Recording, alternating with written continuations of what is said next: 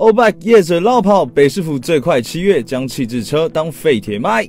还记得他吗？主打随地借、随地还的无装饰共享单车 O Bike，这也听那也听，哪里都有它的踪迹，就像是台北街头的福寿螺。但随着 OBI app 停止租借服务，结果这些乱停的 OBI 现在都被北市交通大队拖到保管厂放置 play。要是 OBI 公司不来领回，下个月就要被当作废铁卖掉了。欧 bike 二零一七年进军台湾，会员数一度飙破百万，在北市街头投放量最多达九千辆。可惜好景不长，有许多使用者任意停放，招来不少民众反弹。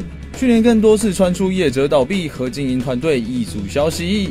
随着欧 bike 今年租借 app 停用，北市交通局在五月寄出拖吊措施，将市区内的欧 bike 当成废弃物拖走。目前北市街头的欧 bike 已拖回九成，总计约六千多辆，分别由环保局拖吊至山竹窟保管厂约一千四百辆，交通大队拖吊至滨江街保管厂约三千多辆，以及福苑街保管厂约一千七百辆。有关于车体的部分，在环保局的山竹窟由环保局那边后续去做一个以废弃物的方式。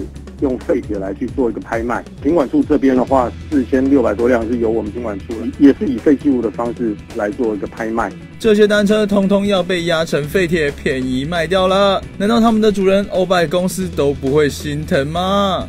台湾奥智网络股份有限公司欧拜的公司哈，它现在目前只有这个公司在里面的呃负责人或者是那些那些员工都已经。没有了，哦，就剩一个空壳，一个壳而已。原来是已经人去楼空啊！不过脱掉产生的移置费和保管费要由谁来付？难不成要台北市民买单吗？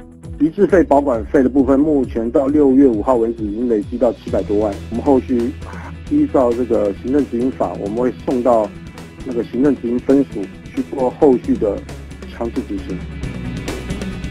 来爆料，每月有赏六十万，一经录用现报一千，照片一千，影片两千，每周点击率冠军奖十万，月冠军再赏二十万。你敢爆料，我敢给钱。